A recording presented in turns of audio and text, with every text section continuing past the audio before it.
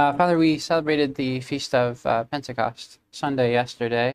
You uh, dedicated part of your sermon uh, yesterday, Father, here at Immaculate Conception to, um, as you mentioned, our, our, country, some of the uh, evils that are besetting our, our country, and in particular, um, I guess some of the uh, retail giants of the of the country who are, um, as you said, just promoting and, marketing um, a lot of perversions, the LGBT perversion specifically, um, directly to our children, and um, mentioned uh, just a, a, bit of concerns um, because because of all of that.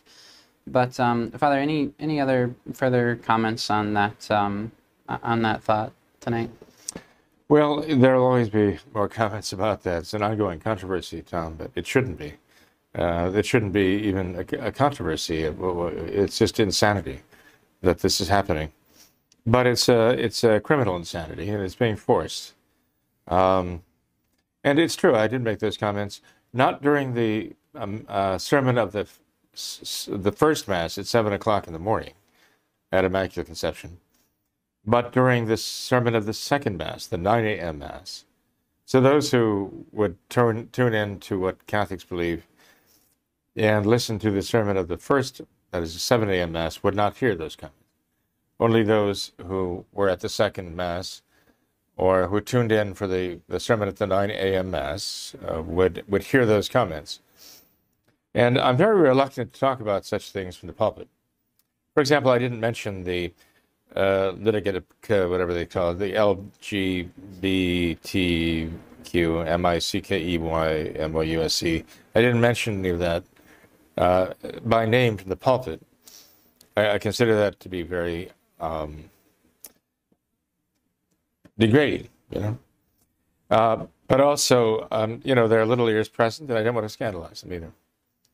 But um, in spite of the fact that I'm reluctant to, talk about such things to the public, uh, I was moved to do so by the advice of a patriarch, a patriarch at Immaculate Conception, who uh, I, I have a high regard for his wisdom. And um, um, after the men's meeting last Thursday, I made some comments about how we have to oppose this evil, which has already explicitly stated, we are coming for your children.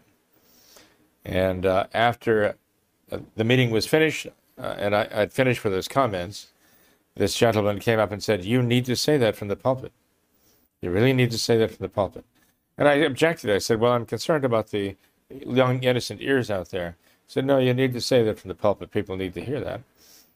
So at the second Mass on Sunday, I determined, well, you know, I'll yield to that, uh, they call it superior wisdom, and uh, did actually comment on this.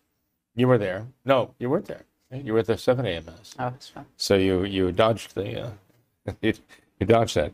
But um, no, the, the, the whole point was that um, uh, we have a, a movement going on here in America uh, which is the transgenderism movement now, which has taken on a lot of steam because it is being uh, fanned by the flames are being fanned by government, education, uh, corporate powers, retail giants, as you mentioned. They're all pushing this madly on the children. And as you know, the San Francisco Gay Chorus already announced a few years ago we are coming for your children. We are coming to take your children. And um, even that, that video of the uh, San Francisco so-called gay chorus uh, evidently did not awaken the, uh, the parents of America to the Im impending danger. Because they're very serious. They mean that. They mean very much. They are coming for our children. Um, even this uh, Karine uh, Jean Pierre, who is Biden's chosen press secretary, she's a homosexual. And um, she was meeting recently with uh, a group. In fact, I have something about that here. She was meeting with a homosexual group here. White House Press Secretary Karine Jean Pierre declared this weekend that the children of America belong to all of us. And who is all of us? All of us is the 34th annual GLAAD, G L A A D, Media Awards. That's the homosexual awards group there. And uh, she says, the children of America belong to all of us. And she's talking about then transitioning children, okay? And um, this is monstrous, but this is the mentality. They cannot have their own children. They want yours. They're coming for yours. And they want to, they're going to traffic them. They are going to feast on them. Um, they're going to raise them in their ideology or their fetish, which is what it really is. A, um, and uh, it's a pathological fetish. Uh, but they are militant. They are militant about it. And so we've seen this now. The these the so-called merchandise of children's clothing being uh, marketed in Target, very very prominently in Target. So much so that it actually provoked a backlash. Yes, there were actually people who spoke up about it. And uh, Target was uh, put on the defensive. And they actually took this, this combination uh, transgender uh, atroc- atroc- atrocity, this, this children's line of clothing, uh, designed by a Satanist, an avowed Satanist they took it and they put it in the back of the store to make it not so prominent. And then, lo and behold, the transgenders went on the attack because Target had made that concession to the decent people of America, right? Um, because Target had done that, at least taken this satanic transgender wear that they were pushing in the face of everybody coming into their stores including the children, and put it in the back of their stores, the transgender people who are extremely brazen and, and violent people. But of course, how could they be otherwise? There's a pathology associated with this. There's a mental, a psychological pathology associated with this. And so they immediately began threatening, uh, began threatening the target stores, even threatening to burn them down, threatening to blow them up. Um, but the also a an educational association, supposedly representing teachers, uh, threatened Target that if you remove this merchandise from the prominence in your store, you'll be responsible for the deaths of these uh, gender dysphoria children because 40% of them uh, have thoughts of doing themselves in. And so you will precipitate that and be responsible for like this wave of of uh, these children killing themselves. It doesn't make any sense. It's not logical. It's not rational. It's not meant to be. Uh, it's not, it has nothing to do with reality or truth. It, it's all about uh, the hammer and the force. And so, so LGBTQ uh, actually has backed off on that. In fact, I have to be careful here because I'm actually mixing up a couple of things. Uh, one of them I'm mixing up uh, the target displays with the Los Angeles Dodgers. Okay, the Los Angeles Dodgers actually heard from uh, Educational Association, and the Los Angeles Dodgers were hearing that they might be responsible for the death of all these children because they had arranged and announced that um, this group of uh, what do you call it? the Sisters of Perpetual Indulgence, these transvestite men dressing up as, of course, traditional nuns, wearing traditional habits because there's no really modern Novus Ordo habit to wear that identifies you as a nun. Um, um, I mean, modern so-called religious sisters dressing in street dress, dress they're so frumpy. I mean, you could you could actually tell that somebody is a nun just by the, the frumpiness of the dress they, but but they didn't they didn't even want that. They wanted to wear the traditional dress. Whenever they want to mock religion, they always have them in traditional uh, dress as a priest or a sister, because the modern just doesn't work. There's no way to mock that. There's no way to make uh, the, to, to uh, make a caricature of the modern way. It is a caricature in itself. So these guys go around with their beards and so on, dressed as in these habits of, of traditional nuns, and they um, actually indulge in all kinds of lascivious and and uh, and uh, immoral behavior. And um, so the Dodgers actually invited them to celebrate them, to honor and award them. And the word got out that, um, that among the people who had any faith, and hope, and charity, any uh, any real faith or love for our Lord, uh, or at least common decency, at least that, came out and uh, really let the Dodgers organization know that uh, they were uh, appalled at this decision and they opposed it. And there would be consequences, um, at least in the box office there.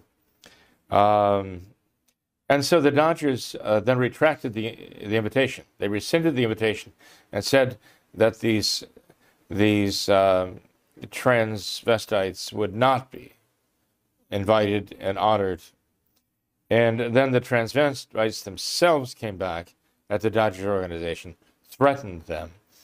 And the uh, Educational Association, I think it was the California Educational Association, if I'm not mistaken, um, actually came out and uh, told the Dodgers they would be responsible for the deaths of many children because they had withdrawn the offer to award these people uh, for their mockery of the Catholic faith and mockery of our Lord.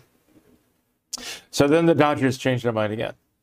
Then the Dodgers re-invited these people to come and to be a part. But they also introduced today to celebrate faith and family.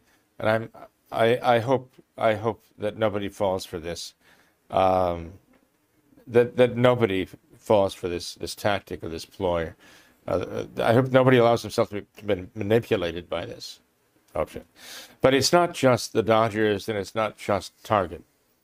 Now we find Walmart is marketing this transgender children's clothing. Kohl's is also uh, marketing this this uh, transgender children's clothing. And um, what's behind it is that um, it's corporate, actually. You see, Vanguard, BlackRock, um, the, the, the, the, major corporations that actually are the corporations that own the other corporations that own the other corporations. Um, and there's so much power concentrated in the hands of a few people. And so many of them themselves are perverts that they're actually using their power to try to pervert the entire world.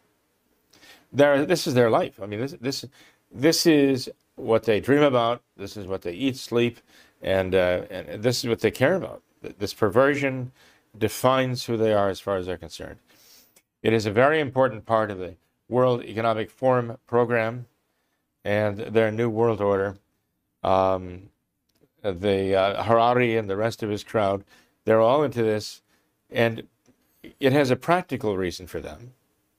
It has a practical reason that enables them to have a certain control over human fertility and the begetting of children, the uh, the population. They want, they want to be able to have a certain control over the population and the breeding of the human being. and this is one way they're getting it through using homosexuality and all of its manifestations as a tool to grant them control to depopulate the earth. But it's not just a practical tool, it's an ideological tool with them. Uh, because it is their great fetish. It, it is, it is, you might call it, in a sense, their idol, their God, small g here. Um, and uh, they cannot rest until everyone uh, submits, agrees, approves, applauds, all of this. Um, this is what is coming down the line of the corporate chain of command to our managers, locally, uh, and to those who you know direct the the stores over certain areas, uh, they're getting the word that they have to do this. If they won't do it, they'll find someone who will. Um, so they don't. The story is they don't care how much money they lose um, because it's only temporary. They lose a billion, ten billion, eleven billion dollars in a day or a week or a month. It doesn't matter. Why? Because the parent corporations going, you know, back multiple up multiple levels, they have hundreds and hundreds of billions, billions and billions of dollars behind them. And it's a drop in the bucket for them. And they also realize that uh, this cabal of, of fetishists are so literally hell-bent on dominating uh, that uh, it, they really don't care that that they're, they're, going to be losing retail sales. Um, they've got us, they think, where, where they where they want us, and that is that we'll have nowhere to go. We'll have nowhere to shop, and they're ultimately going to recoup whatever losses they have anyway. It's just a matter of time before they get it all anyway. Um, their whole objective for 2030, as you know, is that we will own nothing. Um, whatever we want, need, or want, we'll have to get from them, and they'll have to concede it to us. Um, but we'll be totally dependent upon them, ultimately. So, you know, losing uh, so many billions of dollars of sales of Bud Light beer or Target, you know, even the Target investors, right? the, the stock value of stock goes down. None of that matters today because they say that in the course of time, we're going to get it all anyway. Um, so those who are in the uh, position of having to make decisions on the local level find themselves uh, really under the gun. Um, I'm sure many of them are in that position because they agree with the ideology. But there are those who don't, no doubt, and they will be hard pressed then to make the right decision to say we will not support this in any way. But what I said during the sermon time was that we have to oppose it in every way. We have to oppose this in every way we possibly can, because they've they've said out loud, in in the exact words, "We are coming for your children," and I would recommend we not wait until they're on the doorstep or hovering over the child's crib to try to stop them. I'd recommend that we take whatever steps we can. Uh, first of all, starting let, by letting them know you are not taking my children. I will not let you, and I will I will oppose you in every way I can. And uh, then we'd we'd better start figuring out what that is. Starting with prayer and being strong ourselves in our faith is very obvious. That's where we all need to start. But uh, it can't stay there it can't stop there. That's the beginning. We have to formulate practical plans on how we are going to protect our children from being transgendered, transformed, uh, transmuted into into what? Into into alien beings, you know, um, that are hardly recognizable as human. That, that's well transhuman. That's where they want to go. They want to transhumanize your children. It's a very evil thing. What could some of those practical steps look like, Father? Well, I mean, in these, uh, the, the more brazen they are, the more people like you and I are supposed to cower before them. The more they they are supported by government, the more you and I are supposed to be terrified by government powers that protect and support and uh, and uh, promote all of these things. You know, I mean, the American military is going this way now. The FBI seems very much uh, given to protecting and promoting this whole ideology, and we're supposed to be afraid of this and and just let it happen without nary, with nary a whimper. We have these pride parades going through our cities and uh, hardly a, a, voice is raised. If there is a voice raised, it's soon squelched or ignored by the media, certainly. So we have thousands, sometimes tens of thousands, of those marching right through our cities uh, in all of their regalia, or perhaps without anything. Oh, you know, it's just completely um, uh, given uh, given to licentiousness and uh, and uh, you know, public indecency. And nothing is said. The laws are not enforced by the, by the law enforcement. Maybe they feel helpless. Maybe they feel they have, they have no support from their higher ups. Um, uh, if they have any will to to uh, enforce the laws, they certainly get no get no incentive to do so. So um, we need to actually respond to this. Now, you know, people might say, "Well, I do. I mean, I get angry about it. I'm disgusted by it." Anger is not a response; it's a reaction. Uh, disgust is not a response; it's a reaction. Even the people telling the jokes about these these other people the laughing is not a response, it, it's just a reaction and very unhelpful. But a, re- a, response from us would be motivated by faith, hope, and charity. That's a response now. And the response would be well, for one thing, to march down that same route, but to do it for the sake of making reparation to Almighty God for the blasphemy that goes on there and the direct challenge. I mean, we're talking about the type of sin that cries to heaven for vengeance from God. And uh, and where are we? Are we busy making reparation? Well, we we go down to the the city uh, the, the, the courthouse, Hamilton County Courthouse. We pray the Rosary each month. That's a good start.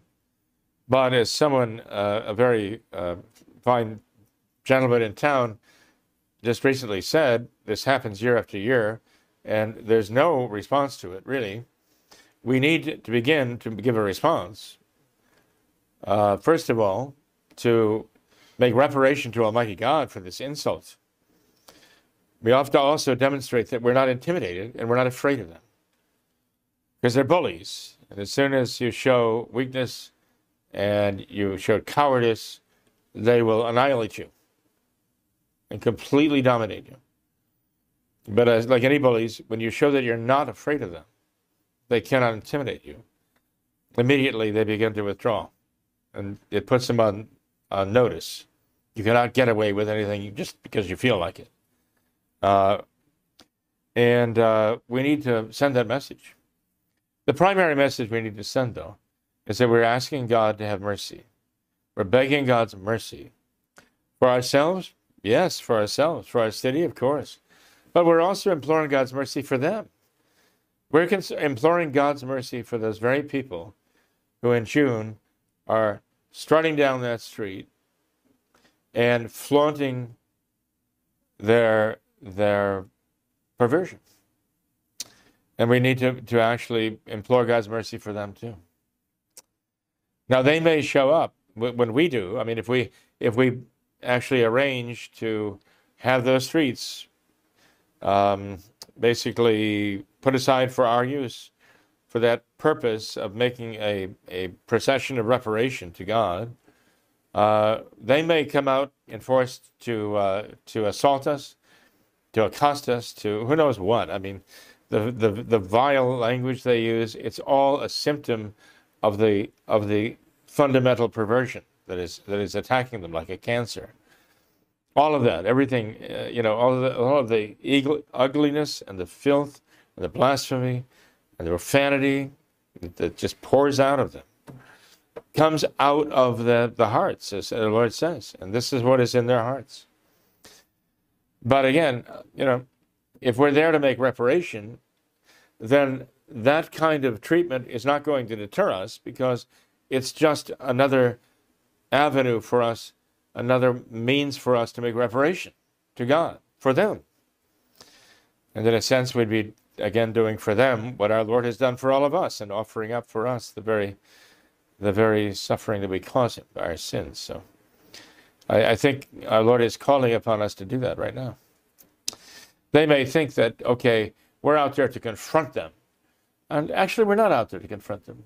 We're out there to to speak to God and to uh, uh, apologize to Almighty God and to implore His mercy. Yes, for them too. And uh, that's not, you know, intended to be a direct confrontation as though we're going to have a, a rumble with them. We have no intention of that. We don't want that. Um, we fear that that they that they will see it as that, but uh, that's not our point at all. Our point is to seek the mercy of God, and I think we should be doing that everywhere.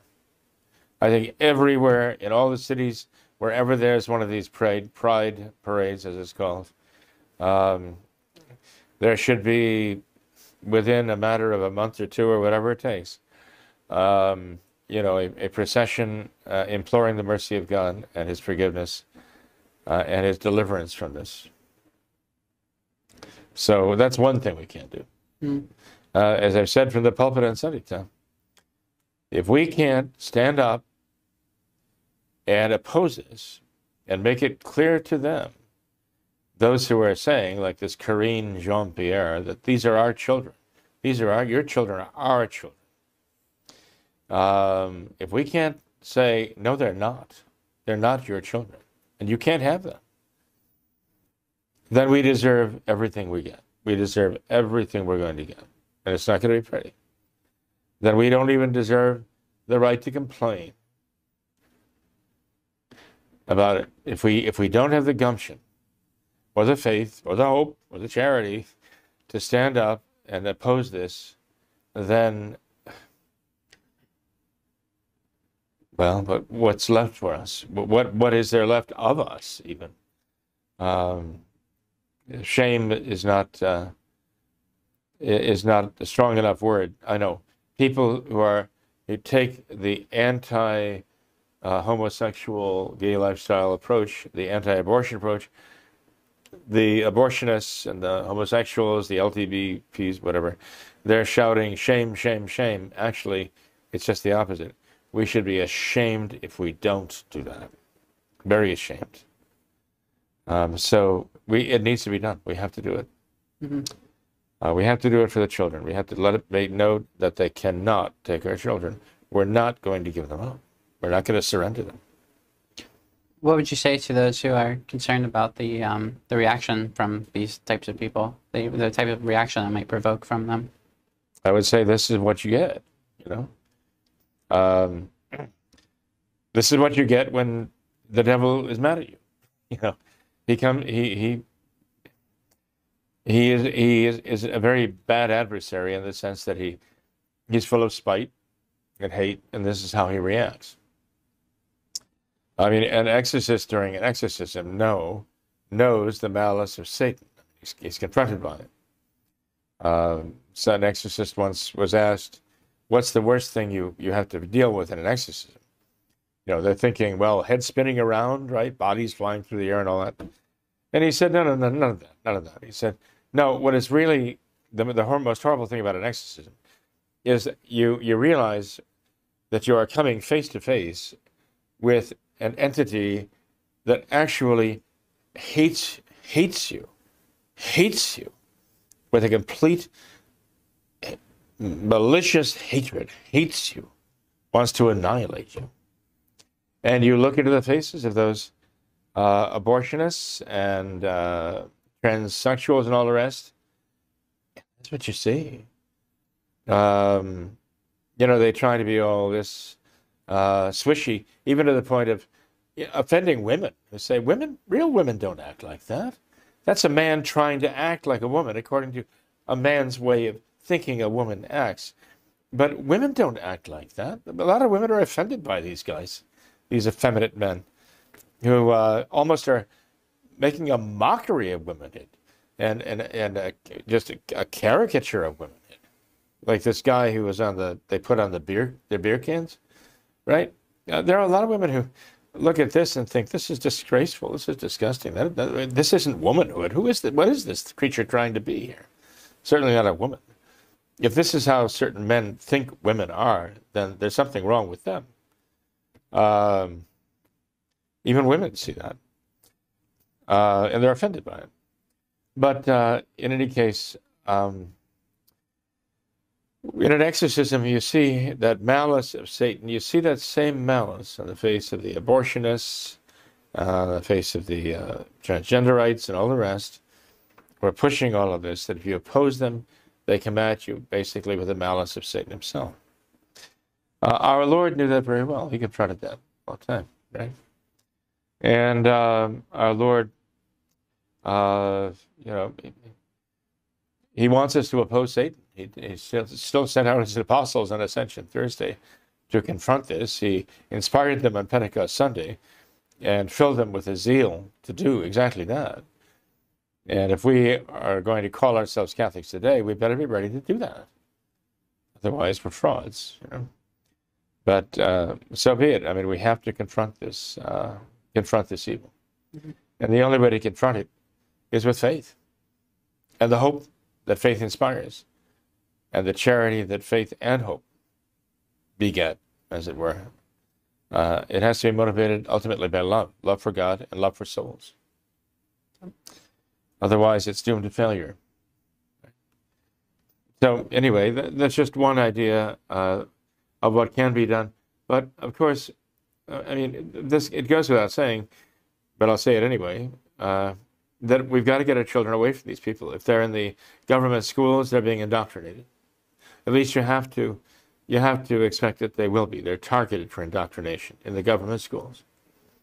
Uh, teachers who will not indoctrinate the children are targeted also in the, in the public schools now very often uh, because they have woke principals uh, and uh, vice principals and so on, and school boards and so on, uh, full of revolutionaries.